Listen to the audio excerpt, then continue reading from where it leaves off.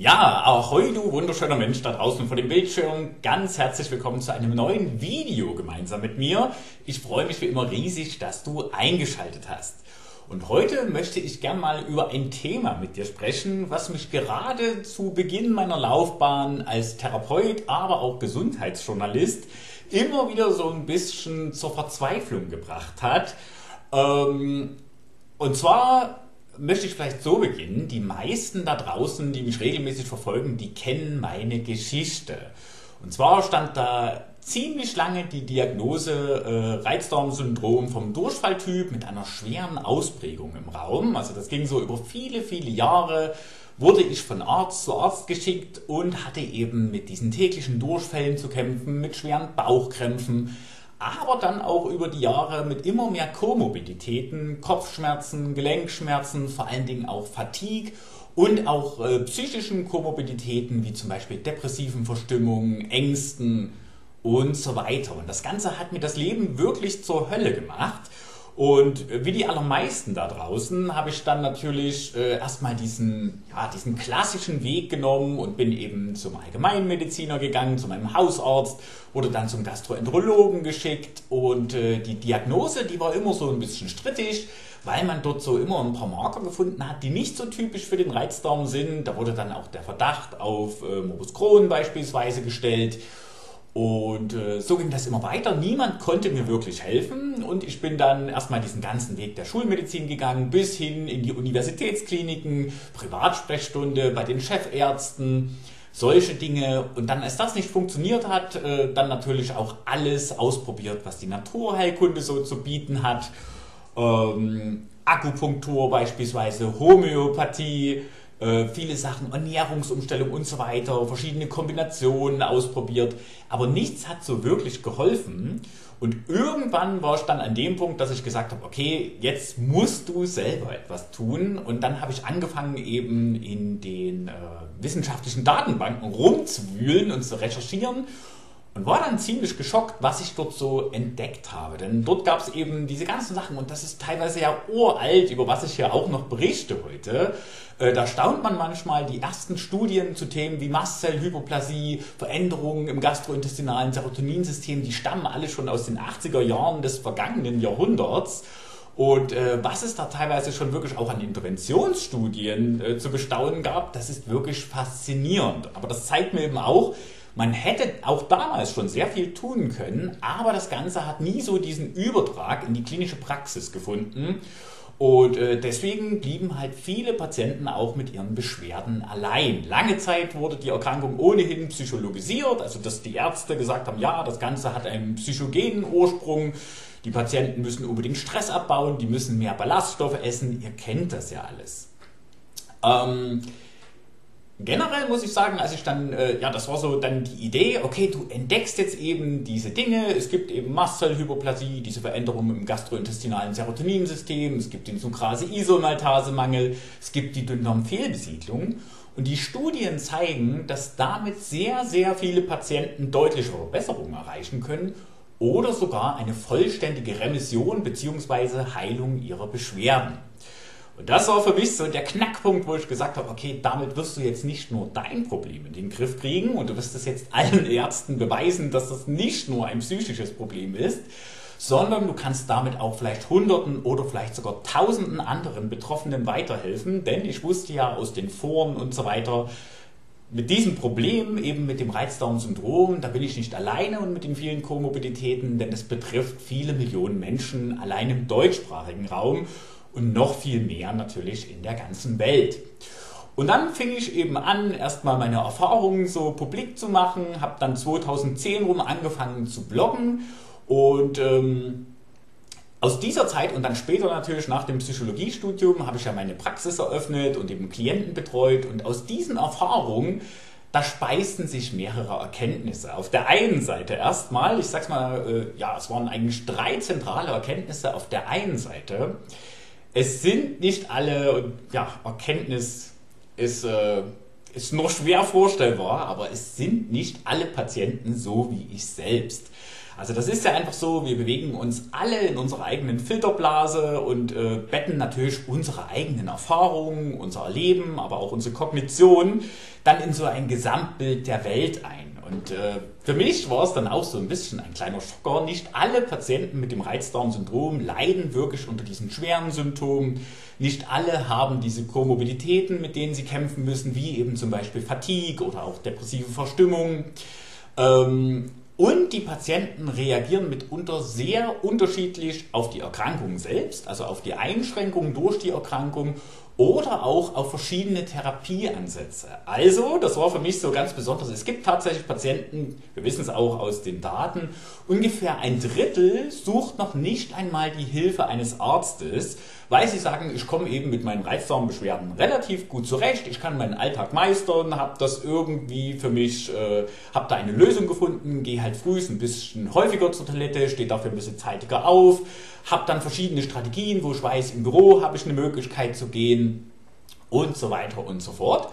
Und diese Patienten reagieren häufig auch auf kleinste Umstellungen ihres Lebensstils sehr positiv oder auch auf äh, pharmakologische Ansätze, wie zum Beispiel die Verabreichung von Spasmolytika und so weiter. Und äh, das ist sowas, was sich Patienten, die schwer betroffen sind, nur ganz, ganz schwer vorstellen können. Wir hatten es letztens so eine kleine äh, Diskussion hier in den Kommentaren, wo auch, äh, ähm, wo auch ein, ähm, äh, ein Zuschauer quasi angemerkt hat, ja, immer ganz schön, aber er kann sich gar nicht vorstellen, warum eigentlich die Daten in den Studien und die reale Welt immer so weit auseinanderklaffen.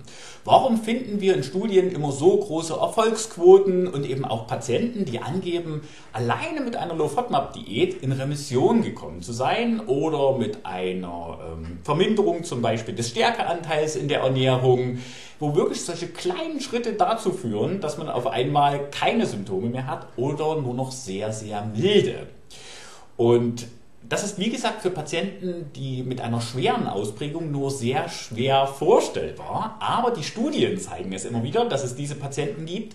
Und ich kann es auch aus meiner therapeutischen Erfahrung auch wirklich nur unterstreichen. Also es gibt jene Betroffene des Reizdarmsyndroms, für die reicht eben die Umstellung auf eine Low-FODMAP-Diät eine zeitweise oder zum Beispiel einfach das Modulieren der täglichen Ernährung ein bisschen hin Richtung mediterrane Kost und vielleicht zusätzlich so noch ein paar Lebensstilinterventionen wie mehr Bewegung oder vielleicht auch solche Dinge wie Darmhypnose und so weiter, um ihre Beschwerden in den Griff zu bekommen.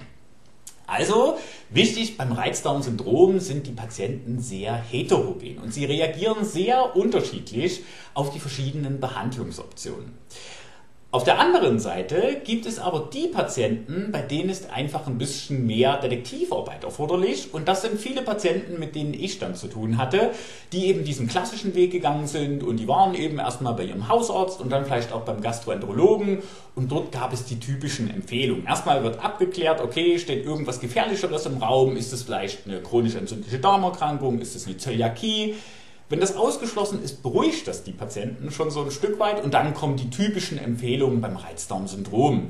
Die Ernährung ein Stück weit anpassen, vielleicht mal die Low-FODMAP-Diät versuchen, ein Spasmolytikum einnehmen, äh, Stress reduzieren und so weiter und so fort. Vielleicht auch Dinge wie Probiotika, Glutamin und so etwas. Oder eben auch spezifisch, zum Beispiel eben beim Gallensäureverlustsyndrom, Cholesteramin oder beim äh, bei der Bauchspeicheldrüsenschwäche, eben Verdauungsenzyme und so weiter. Und äh, wenn das alles nichts hilft, dann suchen die Patienten häufig weiter und die finden dann auch manchmal ihren Weg hier auf meinen Kanal oder eben auf den Blog und kommunizieren mit mir oder werden auch Klienten. Und äh, bei diesen Patienten ist es häufig notwendig, wenn das schon vorher nicht die ba diese Basistherapie nicht funktioniert hat, dass man eben Detektivarbeit betreibt und so ein bisschen noch ein paar spezifische Untersuchungen macht. Dann schaut man sich verschiedene Biomarker an und dann kann man so ein Stück weit abschätzen, in welche Richtung soll es denn gehen. Ähm, gutes Beispiel war jetzt immer die Low-FODMAP-Diät. Wir wissen, die Low-FODMAP-Diät, die hilft so ungefähr Ah ja, in Studien sind es immer so 50 bis 75 Prozent der Patienten und das ist dann aber, dann sagen wir eben, wir sprechen von einer adäquaten Verbesserung. Oft sind das Verbesserungen auf dem IBS Symptom Severity Score äh, so von ungefähr 50 Punkten. Und dann sagen wir, okay, das ist jetzt eine genügende Verbesserung. Natürlich lindern sich dadurch die Symptome, aber die Wahrheit ist eben auch, in diesen 50 bis 75 Prozent, da verstecken sich eben Patienten, äh, das ist ja immer nur ein Durchschnitt, die reagieren sehr positiv. Also dann haben wir mindestens eine Halbierung des IBS Symptom Severity Scores. Und auf der anderen Seite eben auch Patienten, die haben diese Verbesserung um 50 Punkte, dann ist das Reizdarmsyndrom natürlich noch lange nicht weg. Also wir haben eine Reduktion der Beschwerden, aber natürlich spielt die Erkrankung dann im, im Alltag immer noch eine große Rolle.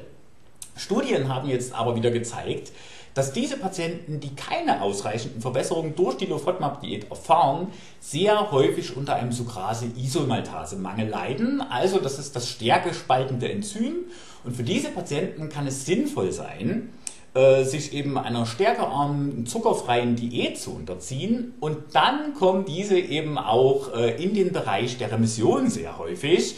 Äh, wir können den Anteil der Responder deutlich erhöhen.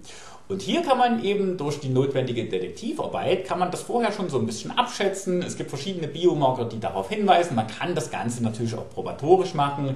Wäre immer meine Empfehlung, erstmal gucken, mediterrane Low-FODMAP-Diät, das Ganze so für drei Monate durchziehen und falls das Ganze nicht funktioniert, falls es gut funktioniert, dann können wir mehr Richtung mediterrane Diät die, die Ernährung dann anpassen. Das ist wichtig wegen äh, der Versorgung mit Präbiotika unter anderem. Wenn es aber nicht funktioniert, dann sollte man mal eine stärkerarme Diät ausprobieren in Richtung SCD, Paleo, GAPS und so weiter. Das kann dann den entscheidenden Vorteil bringen. Das ist sozusagen die zweite Gruppe. Also das waren einfach Leute, die sind eben mit diesen klassischen Basisempfehlungen gescheitert und das ist ja das, was normalerweise in den Arztpraxen passiert. Und äh, da kann man aber, wenn wirklich, wenn man zu einem guten Therapeuten oder einem guten Arzt kommt, die wissen dann eben, nach was können wir noch schauen. Da gibt es so einige Dinge, die wir hier immer wieder auf dem Kanal diskutieren. Und dann kann man diesen Patienten eben auch relativ gut helfen. Und dann gibt es aber noch eine dritte Gruppe und ich würde die so ungefähr, ja, ich würde so sagen, es sind ungefähr 10 bis 20 Prozent der Betroffenen. Äh, und das ist, sind diese Leute, die mich manchmal so ein bisschen zur Verzweiflung brachten. Und das lag aber nicht an den Leuten selbst, also an den Klienten selbst, sondern das hat damit zu tun, dass bei diesen Patienten überhaupt nichts zu helfen scheint. Also das sind Leute, zeigen eigentlich ein ähnliches Biomarkerprofil wie jetzt diese zweite Gruppe, die ich gerade beschrieben habe. Und dennoch scheint bei denen das nicht zu helfen, was für die anderen eben wirklich sehr positiv funktioniert hat oder was sogar die Leute in Remission gebracht hat. Und das war für mich sehr, sehr schwierig nachzuvollziehen. Was ist denn dort eigentlich los? Was steht dort im Weg? Warum funktioniert das bei dieser einen Gruppe, die eben ein bestimmtes Profil zeigt, ein gewisser Phänotyp? ähm, mit den verschiedenen Metaboliten, mit verschiedenen Prädiktoren der Darmflora und so weiter, was für die super funktioniert hat. Und auf der anderen Seite mit genau demselben Profil äh, funktioniert das Ganze eben nicht. Und man versucht dort verschiedene Ernährungskonzepte, man stellt die Ernährung um, man probiert eben glutenfrei, stärkerarm, man probiert Low FODMAP, die Fast Track Diet. Äh, man, man, probiert verschiedene Ansätze, zum Beispiel mit dem gastrointestinalen, mit dem gastrointestinalen Serotoninsystem zu arbeiten, mit der Mastzellstabilisation ähm, und versucht auch verschiedene Supplemente und so weiter. Und nichts scheint bei diesen Patienten eine Wirkung zu zeigen. Und jetzt kann man natürlich äh, darüber spekulieren, warum ist das bei diesen Patienten der Fall? Und ich würde sagen, ähm, meine Arbeit, die ist eben so ein bisschen geprägt, ich hatte es vorhin schon beschrieben, natürlich durch meine eigene Geschichte, dass ich immer gedacht habe, oh ja, alle Reizdarmpatienten sind so schwer betroffen und finden so schwer eine Linderung. Und auf der anderen Seite, weil ich natürlich mit vielen Patienten zu tun bekommen habe, die eben zu den letzten beiden Gruppen gehören. Also das sind eben genau jene Patienten, denen nicht schnell geholfen werden konnte, beim Arzt oder beim äh, Ernährungsberater und die dann eben mit diesen komplexeren Geschichten kommen, häufig auch mit Komorbiditäten. Und diese letzte Gruppe, die ist teilweise, also die ich jetzt als letztes beschrieben habe, die so ganz, ganz schwer eine Linderung äh, finden. Häufig funktioniert gar nichts oder sie haben nur ganz, ganz kleine Fortschritte. Manchmal ist es so, dass was zeitweise hilft und dann aber die Wirkung schnell wieder nachlässt. Ähm, die macht das teilweise sehr frustrierend natürlich für den Therapeuten, Aber äh, natürlich habe ich auch großes Verständnis für diese Patienten, weil sie absolut verzweifelt sind. Ne? Man muss sich dann vorstellen, die haben diese Geschichte, an der mein Leben, mein Alltag und Berufsleben und Privatleben ja auch so fast gescheitert wäre, haben die eigentlich über Jahre, teilweise Jahrzehnte und nichts scheint irgendwie Linderung zu verschaffen. Und natürlich sind diese Patienten dann auch häufig, äh, ich beschreibe es mal ein Stück weit gereizter und haben andere Ansprüche, andere Vorstellungen. Und manchmal ist die Arbeit mit diesen Patienten sehr schwierig. Und deswegen war es über die Jahre für mich wichtig herauszufinden, was dort eine Rolle spielen könnte. Und heute möchte ich mal so deinen Blick in eine gewisse Richtung lenken. Das ist so ein bisschen äh, ja, ich habe dann einfach über die Jahre einige, eine oder mehrere Hypothesen eigentlich aufgebaut, woran das liegen könnte. Und jetzt wurde das Ganze auch wieder durch verschiedene Studien nochmal untermauert. Und heute möchte ich dir mal eine irische Studie vorstellen. Wir werden natürlich auch wieder äh, über mehrere Untersuchungen sprechen, aber diese irische Studie, die soll heute mal so ein bisschen das Zentrum der Diskussion bilden. Und ich weiß, dass die Botschaft des heutigen Videos zu einigen da draußen sauer aufstoßen wird. Und ich möchte nicht sagen, nicht behaupten, dass das die Lösung äh, für alles ist und dass sich das immer hinter diesem Phänomen verbergen muss, aber es ist eben ein bedeutsamer Aspekt und ich möchte unbedingt dein Augenmerk darauf lenken. Ähm, in dieser irischen Studie, steigen wir vielleicht gleich mal ein, wurden 450 Patienten mit dem Reizdarmsyndrom äh, erstmal ausgiebig untersucht. Also das äh, bedeutet, man hat geschaut, leiden diese wirklich unter einem Reizdarmsyndrom. Das wurde in einer gastroenterologischen Spezialklinik in Irland durchgeführt, in Dublin.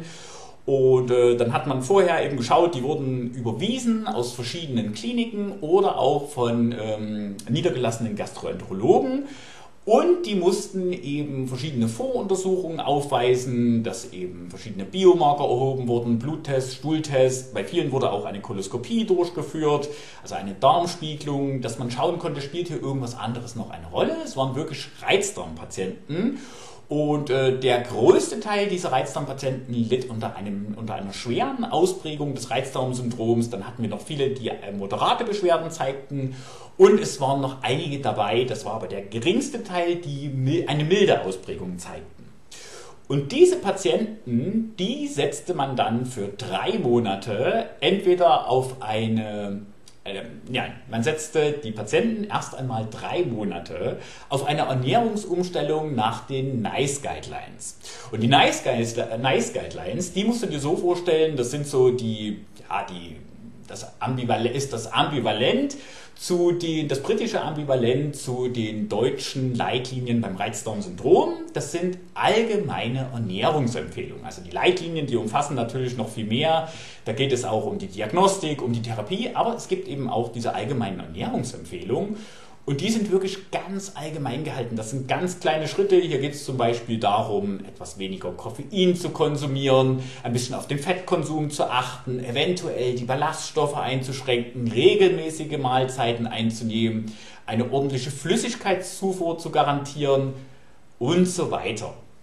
Und äh, wir wissen, diese, äh, das Befolgen der NICE Guidelines das führt tatsächlich zu signifikanten Erfolgen bei der Linderung der Beschwerden des Reizdarmsyndroms. Ist für viele immer schwer vorstellbar, aber die vorhandenen Studien, die haben da immer so eine Responderquote von um die 40 Prozent.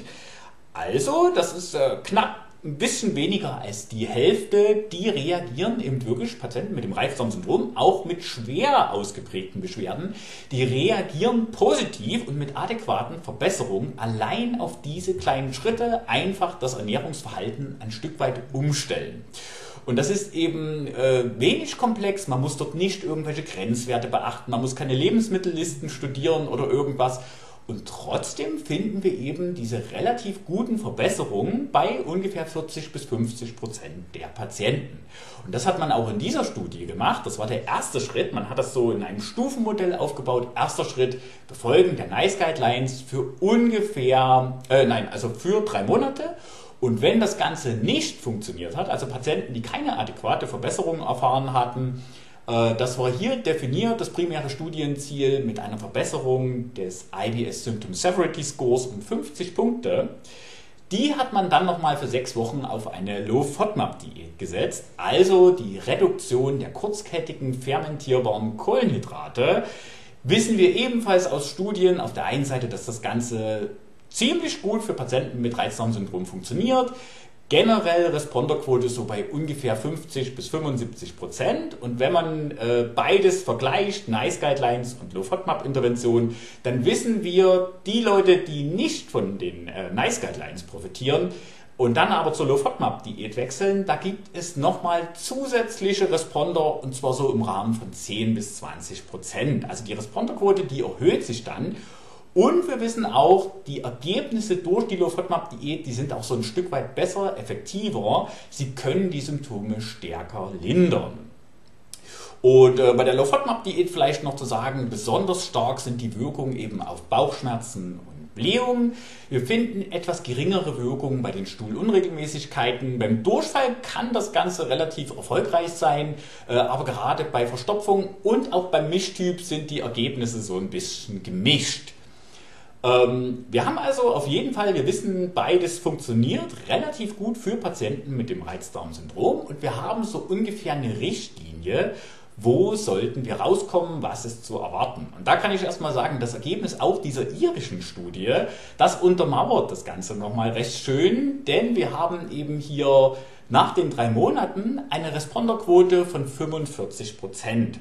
Also 45 Prozent der Patienten mit Reizdarmsyndrom, hauptsächlich mit schwerer und moderater Ausprägung, die erreichten eben mindestens eine Verbesserung um 50 Punkte. Und äh, das ist ein bedeutsamer Aspekt deswegen, weil klingt immer sehr abstrakt, was sind 50 Punkte auf der IBS Symptom Severity Scale? Das macht eben einen Unterschied im Alltags- und Berufsleben. Das kann man wirklich auch klinisch zeigen, das macht einen bedeutsamen Unterschied.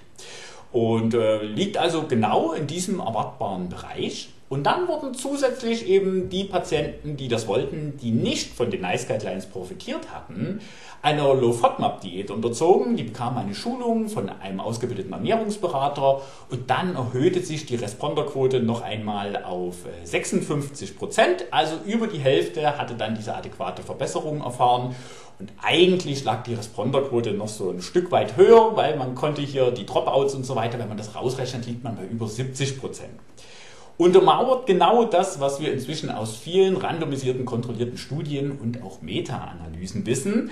Und ähm, die, die durchschnittliche Verbesserung des IBS Symptom Severity Score, die lag bei 100 Punkten und in der Gruppe mit den äh, stärksten Symptomen waren es sogar 120 Punkte. Also es gab dort eine wirklich nennenswerte Verbesserung. 120 Punkte, das ist kein Pappenstiel. Äh, das ist bei vielen Patienten mit moderaten Beschwerden ist das eine Halbierung der Symptome.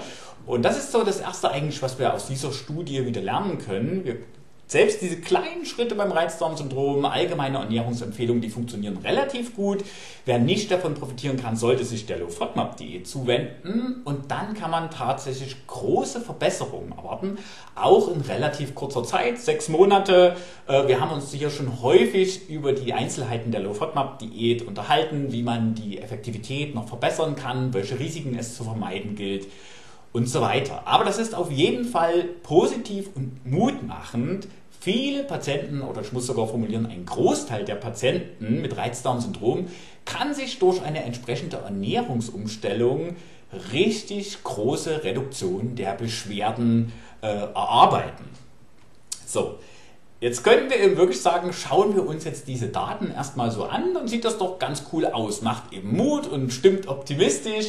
Wir können uns diesen Ernährungsumstellung zuwenden und alles wird gut.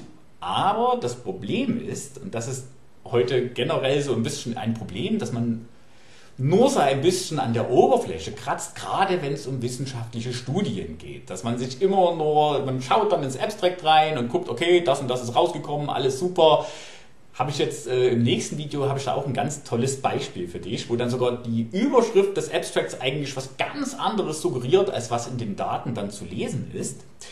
Und äh, das wurde hier nicht gemacht, aber wenn man so ein bisschen in die Details schaut, dann ist was ganz, ganz Großes eigentlich im Gange. Denn wir sehen eben, das sollte immer aufruschen lassen hinter einem Mittelwert also eine mittlere Verbesserung, Verbesserung der Beschwerden um 100 Punkte beispielsweise oder fast 75 Prozent reagierten eben mit adäquaten Verbesserungen. Ein Mittelwert verschweigt eben auch sehr viel, denn hinter den Mittelwerten verstecken sich sehr häufig auch Extreme, die dort mit einfließen. Und hier ist es natürlich wichtig, dass wir diese einzelnen Gruppen und Kategorien herausarbeiten, um eben zu verstehen, was dort eingegangen ist und wie dieser Wert zustande kam. Generell war es nämlich in dieser Studie so äh, spezifisch, dass in einer Gruppe knapp 40 Prozent nur von diesen Ernährungsumstellen profitierten und in einer anderen Gruppe weit über 60 Prozent. Also das war ein signifikanter Unterschied, wenn man die Patienten auf Grundlage von verschiedenen Variablen nochmal in zwei Gruppen einteilte. Und das klingt jetzt noch nicht mal so groß, der Unterschied. Viel schlimmer wird er allerdings noch, wenn wir uns einzelne Subkategorien anschauen. Wir können uns hier bei diesen Subkategorien mal beispielhaft den Schweregrad herausgreifen und dann wirst du sehen, dass zum Beispiel bei der milden und der moderaten Ausprägung des Reizdarmsyndroms diese Unterschiede hoch drastisch waren. Äh, zum Beispiel haben wir beim milden Reizdarmsyndrom Unterschiede von 80% Responderquote gegenüber 12,5%. Um das nochmal plastisch zu machen, also in einer Gruppe, und ich werde gleich äh, die, die Variable nochmal auch benennen natürlich, um die es hier geht, aber damit du erstmal verstehst, wie groß der Unterschied war. Wir haben auf der einen Seite 80% Responderquote, vier von fünf Patienten reagierten eben mit adäquaten Verbesserungen auf diese Ernährungsumstellung, NICE Guidelines oder Low FODMAP Diät. Auf der anderen Seite haben wir eine definierte Gruppe. Dort reagierten nur 12,5 Prozent, also einer von acht Patienten mit diesen adäquaten Verbesserungen. Und äh, ein drastischer Unterschied, wie gesagt. Ganz ähnlich finden wir es beim moderaten Reizdarmsyndrom, also bei Patienten mit moderaten Beschwerden. Dort haben wir auf der einen Seite 35 Prozent gegenüber 70 Prozent. Also Doppelt so viele Patienten der einen Gruppe reagierten positiv auf die Ernährungsumstellung als in der anderen Gruppe. Und ähnlich ist das Ganze, wenn wir uns die Verbesserung auf der IBS Symptom Severity Scale anschauen.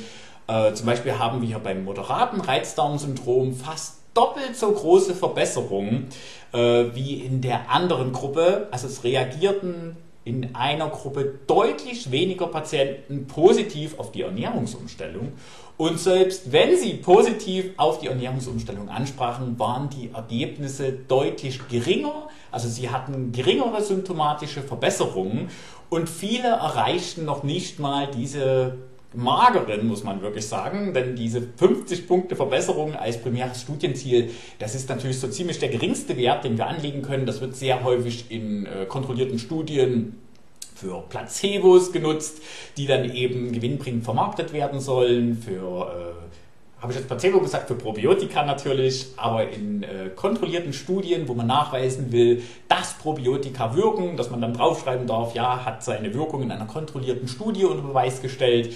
Ähm, sehr häufig auch, wenn man sich den Placebo-Effekt beim Reizdarmsyndrom anschauen will und so weiter. Also das ist ein sehr geringes Kriterium, aber viele Patienten dieser einen Gruppe erreichten noch nicht mal das. Und äh, was war jetzt diese Variable, die diesen Erfolg letztendlich so moderiert hat?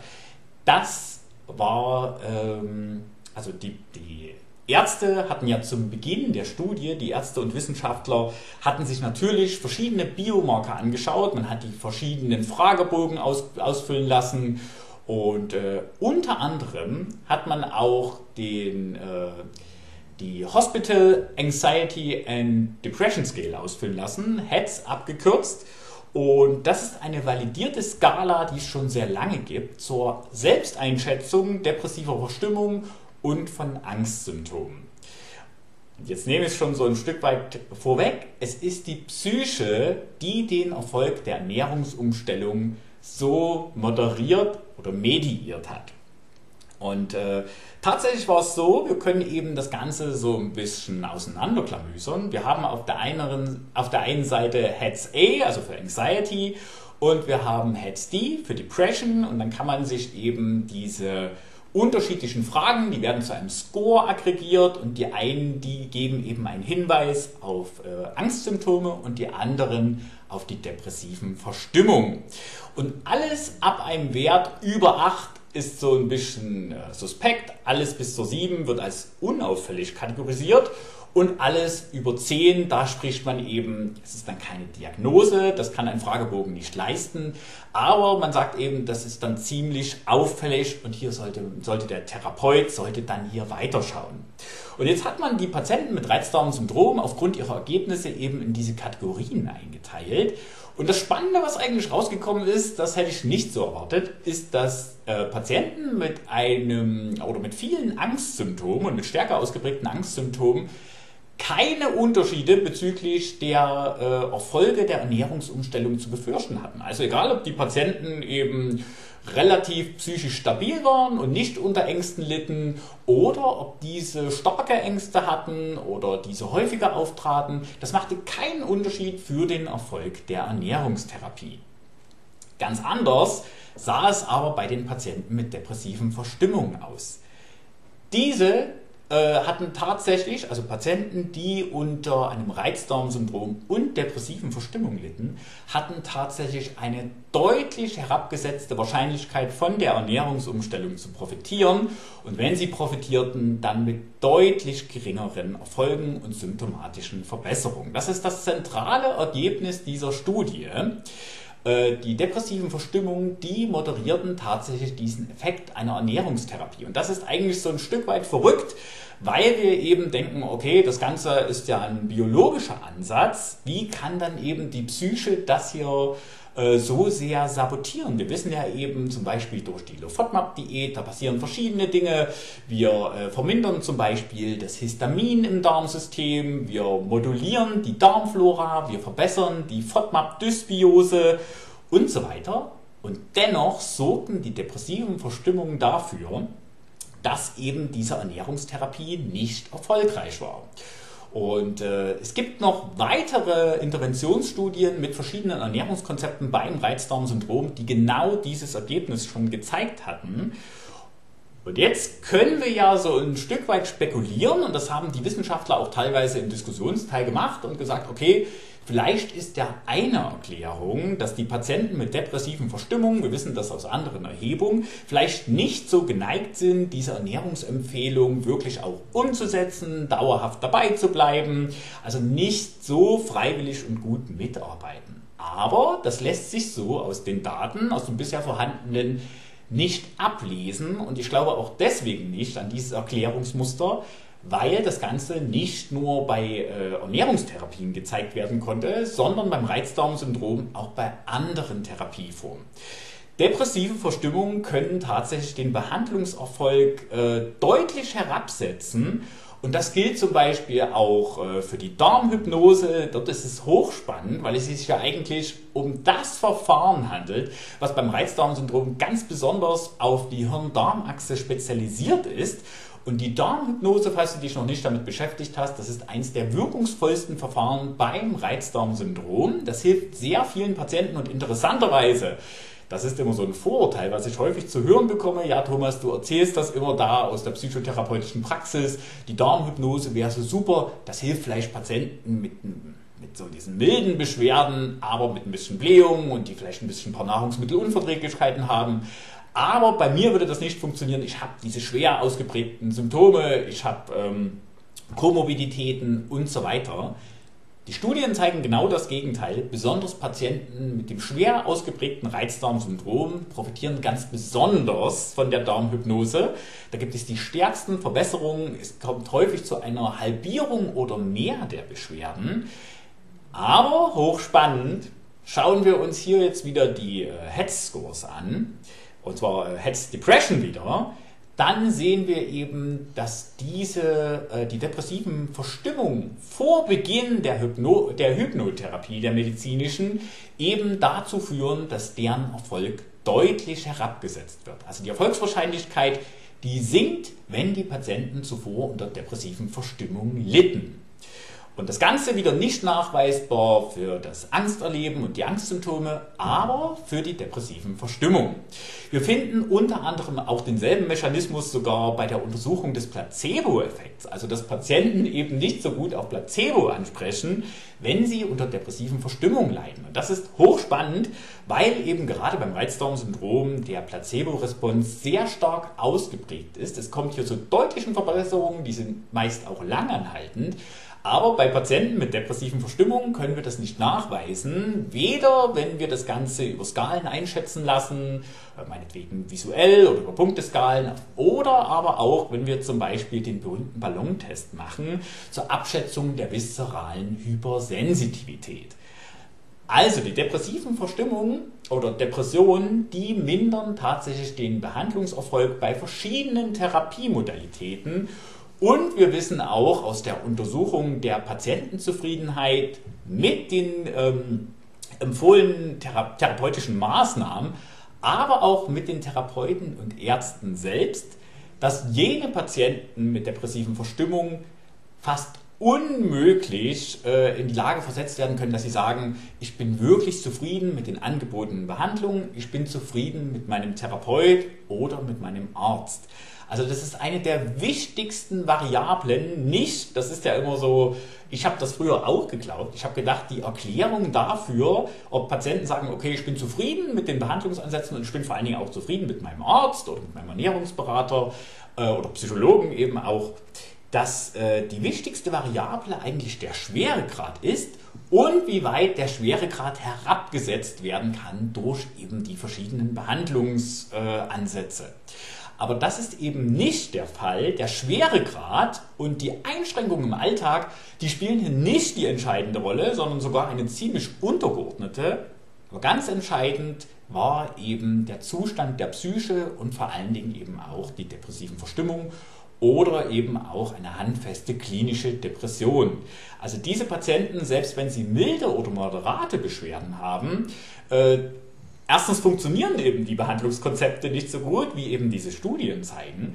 Oder auf der anderen Seite ist es so, dass man eben sehr, sehr schwierig diese Patienten zufrieden machen kann, so dass sie sagen, okay, zumindest auch wenn mir nicht so geholfen wird, aber der Arzt gibt sich Mühe oder der Therapeut sind Leute für mich da, sie haben Verständnis für mich.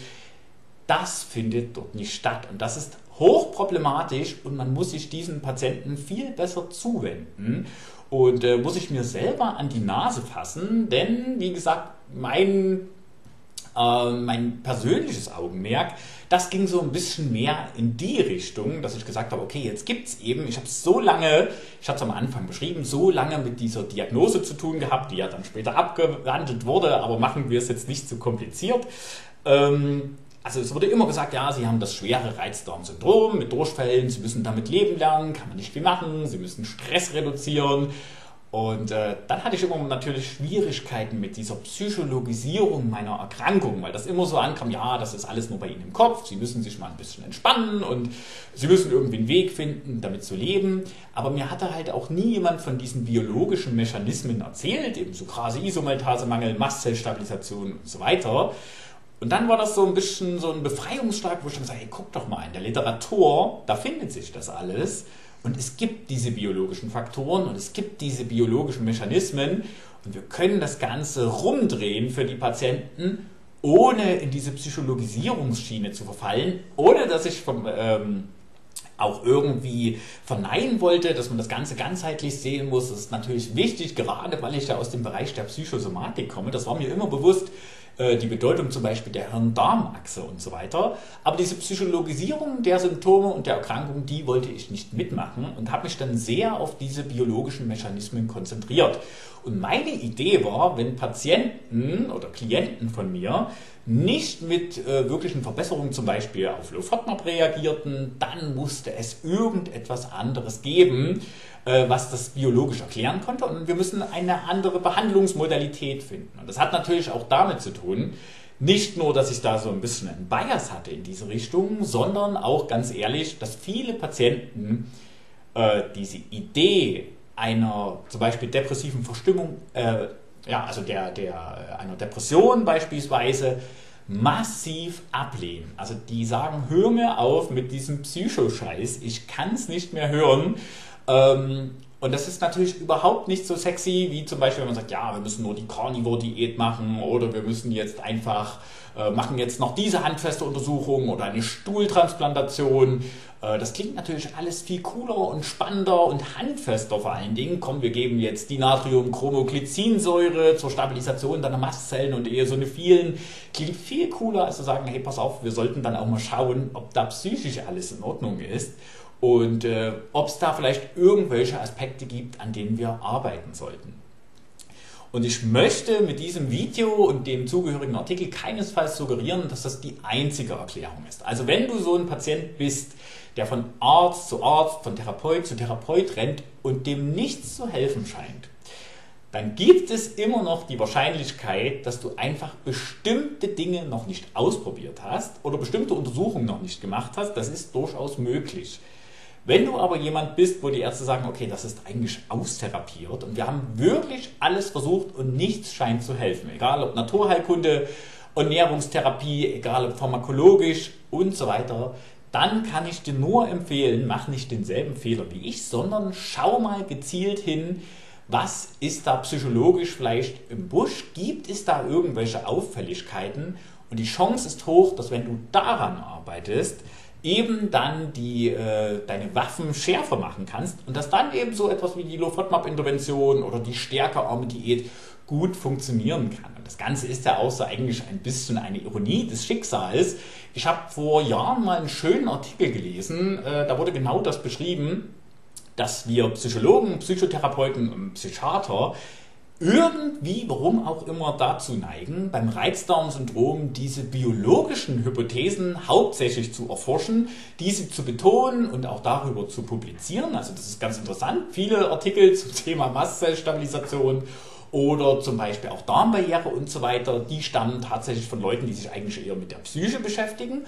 Und auf der anderen Seite gibt es eben diese ganzen psychogenen Theorien und so sehr häufig von Ärzten, Immunologen und Gastroenterologen, wo man sagen könnte, okay, wartet mal, eure Arbeit ist doch eigentlich jetzt am Mikrobiom, an der Darmbarriere, an der viszeralen Hypersensitivität und so weiter. Aber die konzentrieren sich auch sehr häufig auf die äh, psychogene oder psychosomatische Ebene. Und dann kommt eben sowas raus, wie Studien auch heute noch zeigen, der absolut überwiegende Teil der Allgemeinmediziner und Gastroenterologen hält das Reizdarmsyndrom für eine psychische Erkrankung primär und äh, arbeitet eben daran und verweist immer darauf, okay, Psychotherapie ist wichtig, Psychopharmaka, äh, dann eben Dinge wie die Darmhypnose und so weiter. Und die Psychologen sagen, hey, versuch's doch mal mit der Mastzellstabilisation.